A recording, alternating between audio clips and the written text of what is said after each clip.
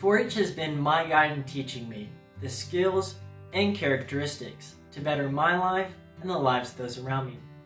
4-H has taught me how to be a leader and serve others.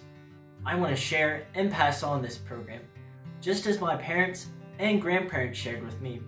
To me, 4-H means tradition, family, and lifelong skills.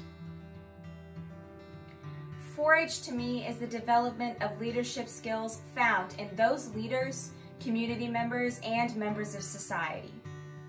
To me, 4-H is overcoming my fear of public speaking and shaping me into who I am today.